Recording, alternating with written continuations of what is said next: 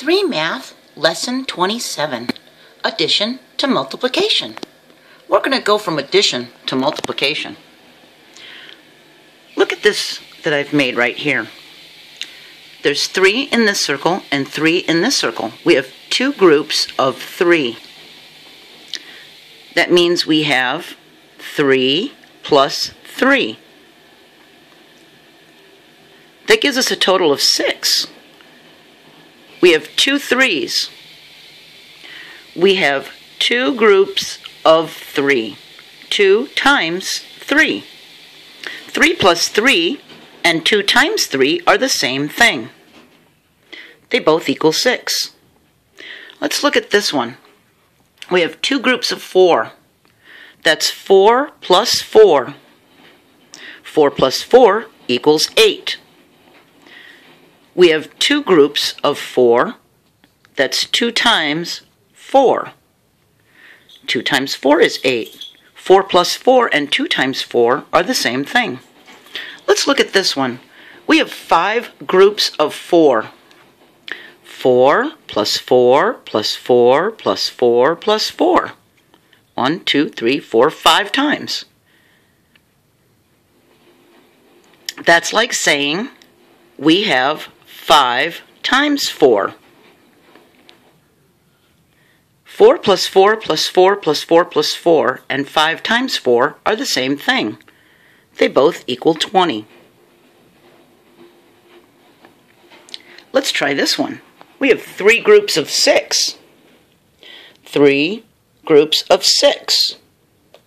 Whoops, sorry. That means we have 6 plus 6 plus 6 we have 3 times 6. 6 plus 6 plus 6 is 18. 3 times 6 is 18. 6 plus 6 plus 6 and 3 times 6 are the same thing. Four groups of 3. 3 and 3 and 3 and 3. We have 4 times 3. 3 plus 3 plus 3 plus 3 equals 12. 4 times 3 equals 12. 3 plus 3 plus 3 plus 3 and 4 times 3 are the same thing.